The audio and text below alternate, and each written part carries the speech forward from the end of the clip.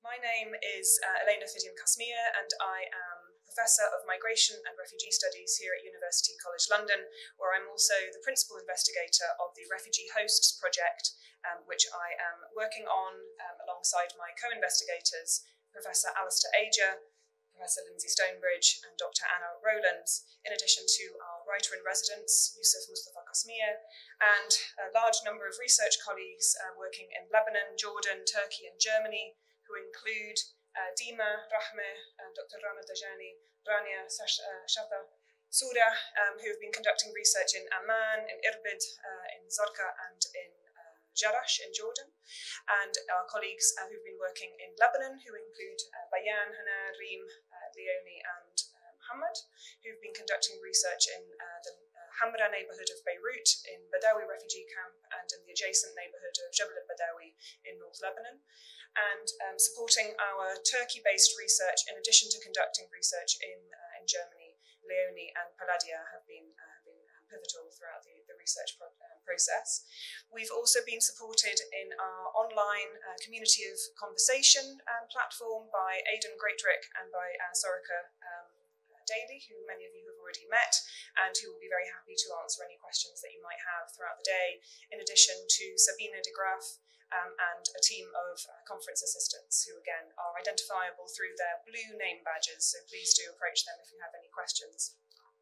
Not all members of our team will have the opportunity to present formally throughout the conference proceedings, but all of us who are involved in refugee hosts um, have refugee hosts on our, on our name badges, so please do approach us during the breaks or during the reception to ask um, our team members about their particular roles in, in the research process, and we'd be very happy to, to have a conversation or to continue the conversations um, throughout the breaks and the receptions. So, as many of you know, uh, Refugee Host is a four year large interdisciplinary research project which has been funded by the um, Arts and Humanities Research Council and by the Economic and Social Research Council, two of the UK's research councils. And the aim of the project, which started in 2016, has been to examine how, why, and to what effect local communities on a neighbourhood level have been responding to the displacement of people from Syria, um, with a particular focus on local responses in Lebanon, Jordan, and Turkey. By focusing on displacement from Syria, we have not limited our discussion or our analysis to Syrians, but have been exploring um, as well the experiences um, of hosting people who are Palestinian, Iraqi, Kurdish, etc., who've been displaced from the overarching conflict affecting, um, affecting Syria. And we've been doing so in collaboration and with partnerships um, with a number of organisations, including PEN International and English PEN, also uh, the Joint Learning Initiative on Local Faith Communities and Refugees, Stories in Transit, and with Save the Children's Humanitarian Affairs team. And if you could please ensure that all telephones are off, that would be greatly appreciated. Thank you so much.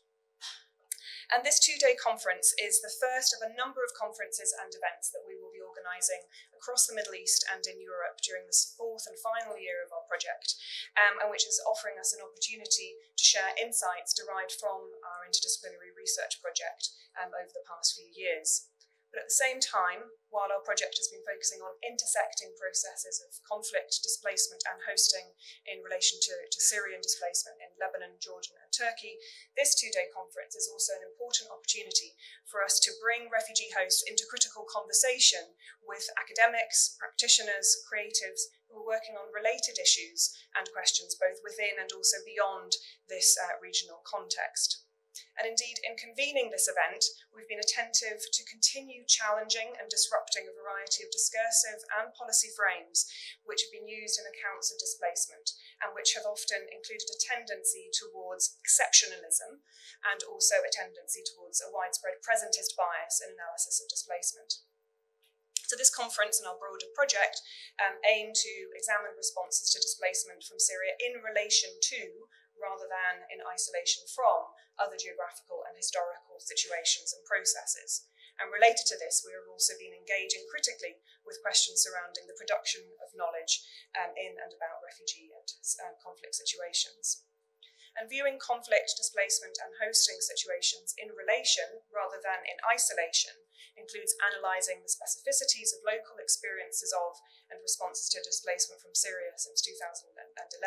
as they intersect with other overlapping conflict and displacement situations. And we're aiming to trace connections and relationalities with other displacement and hosting contexts around the world throughout the two-day conference, including um, bringing in um, experts who will be sharing insights from Uganda, from Greece, from South Sudan, from Bangladesh, amongst others.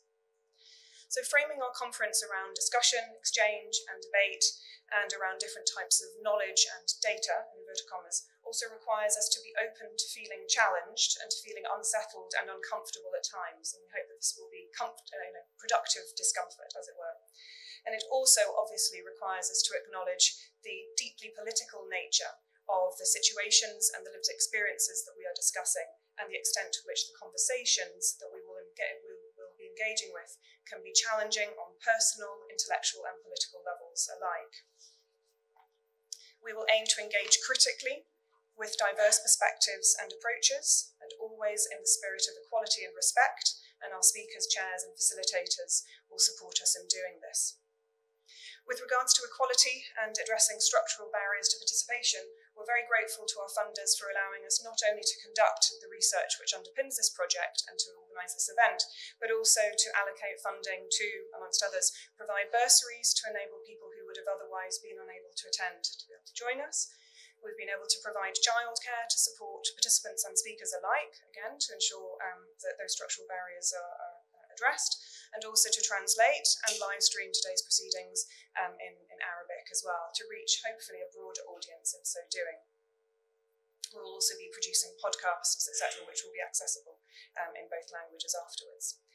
Nonetheless, while we're very, very happy, we're thrilled that so many of our refugee hosts, colleagues um, who live and work in Lebanon and in Jordan, for example, are here with us today, including Bayan, Reem, and Rana. Um, other team members um, with whom we have been working very closely have been unable to, uh, to join us for a diversity of reasons. These do include work and family commitments, of course, but most poignantly, three of our colleagues, Mohammed, who is Palestinian, Marwa and Dima, who are Syrian, um, whom we had invited to speak at this conference about their research and their creative practice, have uh, had their visas, uh, their visa applications refused by the UK authorities. The hostile environment towards migrants and refugees and the immigration regime's consistent racialised and racist discrimination are very well documented we at Refugee Hosts obviously join those powerful voices that continue resisting the unequal power structures that prevent and restrict the movement of people and prevent certain people's voices from being heard as they speak truth to power. So we echo the demand for a change in immigration regimes that prevent people who are based in the so-called global south, including people affected by and responding to displacement through their research and practice, from speaking in their own right, including at events such as our own conference.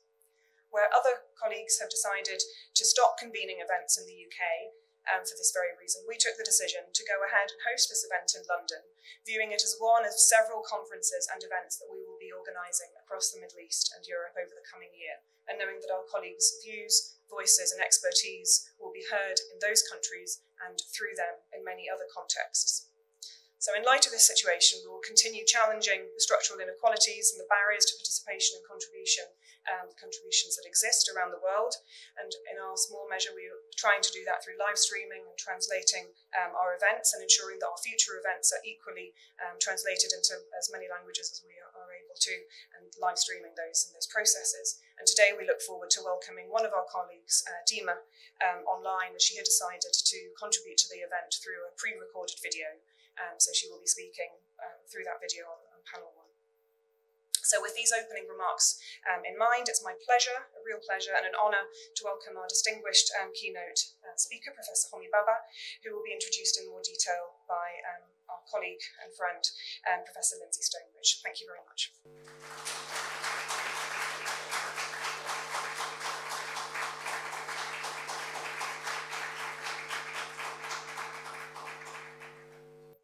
Thank you, Elena, and um, welcome. Um,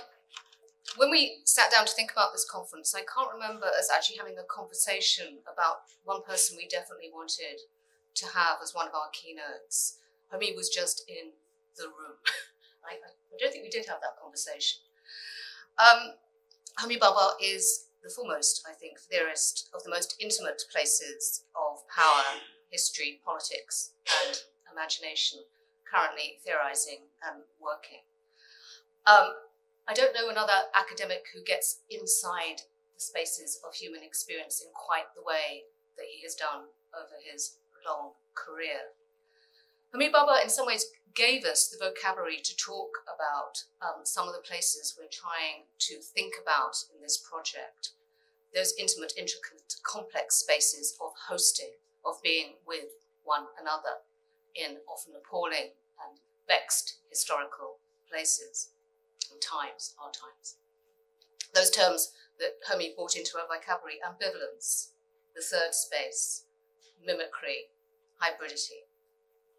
I might also add he's one of the world's, one of academia's most brilliant and consummate and generous hosts. He, this man really does understand hosting both intellectually and personally. Homi is currently Anne F. Rothenberg Professor of Humanities at Harvard. I'm sure most of you will know his previous books, Nation Narration, um, etc. But I'm delighted that two new books are currently on the way, The Global Measure and The Right to Narrate. I'm delighted um, to ask Homi K. Bhabha to open this conference, my friend and colleague. Please welcome me.